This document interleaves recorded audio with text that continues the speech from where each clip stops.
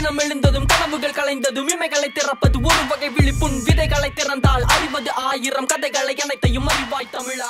கடல் தோன்றி வணக்கம். ஹார்ட்வேர் தமிழ் இருக்கைக்காக திரு ஜிவி பிரகாஷ்குமார் மற்றும் ஆதிராஜா இவர்கள் கூட்டணியில் ஒரு காணொளி ஒன்று பண்ண போகிறோம் உயிராலும் தமிழாலும் உடலாலும் தமிழாலும் மொழியாலும்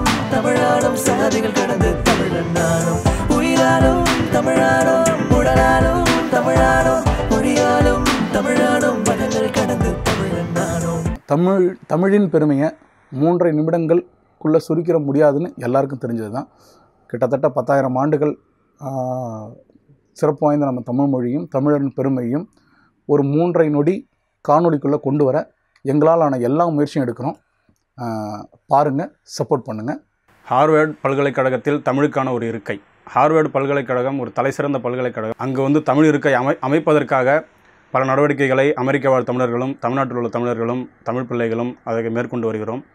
தமிழுக்கான ஆய்வறிக்கைகள் அந்த பல்கலைக்கழகத்திலிருந்து வெளியே வரும்போது அது வந்து உலகத்தாரால் அங்கீகரிக்கப்படும். இன்று நாம் இங்கு இருக்கும்போது தமிழ் வந்து தொன்மையான மொழி பலாயிரம் வருடங்களுக்கு முன் முந்தைய கலாச்சாரங்களை கொண்டது அப்படிலாம் நமக்கு தெரியும். அது உண்மைதான். பத்தாயிரம் வருடங்கள் பதினைந்தாயிரம் வருடங்கள் நாம் சொல்வதைப் போல இதே வார்த்தை ஹார்வர்டு பல்கலைக்கழகத்திலிருந்து ஒரு ஆய்வறிக்கையாக வெளிவரும்போது அது உலகத்தாரால் அங்கீகரிக்கப்படும்.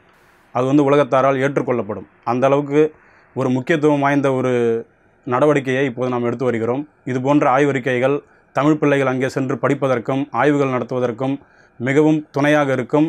தமிழை வந்து தமிழின் தொன்மையை உலகளவில் கொண்டு செல்வதற்கு இது ஒரு நல்ல ஒரு தளமாக அமையும். ஹார்வர்ட் யூனிவர்சிட்டியில் மேண்டரின் அரபிக் சான்ஸ்கிரிட் இந்த மாதிரி மொழிகளுக்கெல்லாம் வந்து அங்கே ரிசர்ச் டிபார்ட்மெண்ட் இருக்குது ஆனால் இதுக்கெல்லாம் மூத்த மொழியான நான் தமிழ் மொழிக்கு இது வரைக்கும் ரிசர்ச் டிபார்ட்மெண்ட் அமைக்கலை அப்படிங்கிறது ஒரு வருத்தமான விஷயம் தான் ஸோ இதற்கான முயற்சியை தான் வந்து அங்கே அமெரிக்காவில் இருக்க ஜானகிராமன் அந்த ஐயாவும் அப்புறம் வந்து சம்பந்தம் ஐயா இவங்களாம் எடுத்து முயற்சி எடுத்து ரெண்டாயிரத்தி பதினாலில் தொடங்கினாங்க.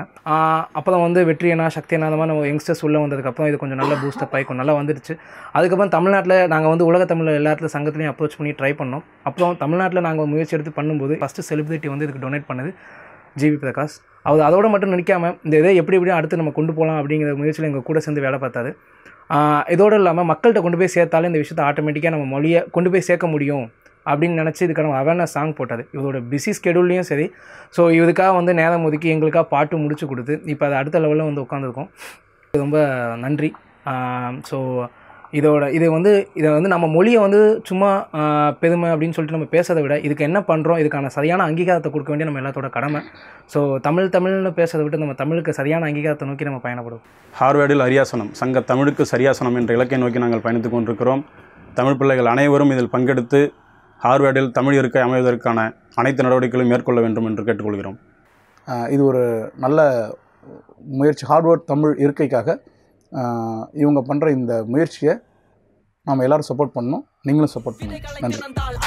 ஆயிரம் கதைகளை அனைத்தையும் அறிவாய் தமிழா.